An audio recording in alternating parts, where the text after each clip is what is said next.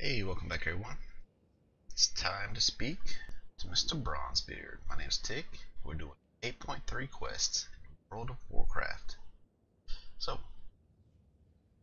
Magni Bronzebeard, Azeroth cries out in pain. what you got? Return of the Warrior King. You've done a great deal for Azeroth, hero. But unfortunately, I'm gonna have to ask ye to do more. Some crazy, crazy spellings. N'Zoth is on the loose, and there's no telling when or where he'll strike. This battle's one of ye can face alone. When the time comes, you'll have my hammer at your side. First, we'll need to fetch it. So, quest objective. Walk with Alden and retrieve Fearbreaker and Stormwind Keep. So once again, only pay me two gold. I feel like I'm playing classic right now. Fight for our world. Fearbreaker.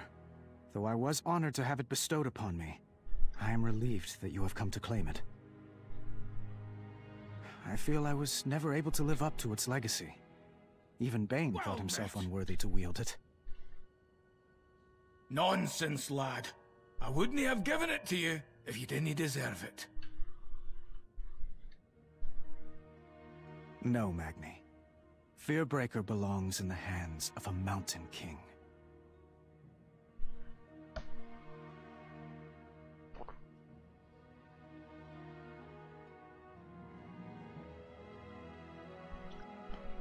Oh, am I supposed to get it? Oh, I am supposed to get it. I'm sitting here waiting for him to go get it. Go. So, do you want this hammer? What you gonna give me for it? It's a hammer for a king. Hopefully more than two gold. Hopefully. These stones have tales to tell.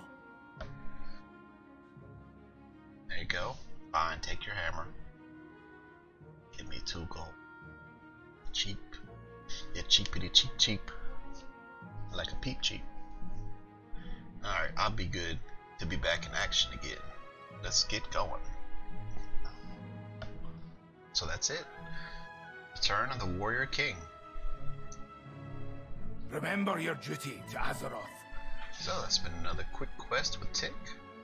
Hope you've enjoyed it, and we'll continue on next time